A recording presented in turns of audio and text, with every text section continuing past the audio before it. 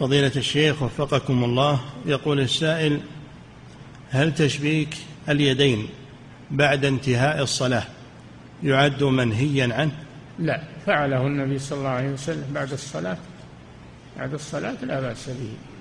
إنما الذي إنما في أثناء الصلاة أو الذي ينتظر الصلاة لا يشبك يديه. أما بعد انتهاء الصلاة لا معنى الرسول فعل صلى الله عليه وسلم. نعم.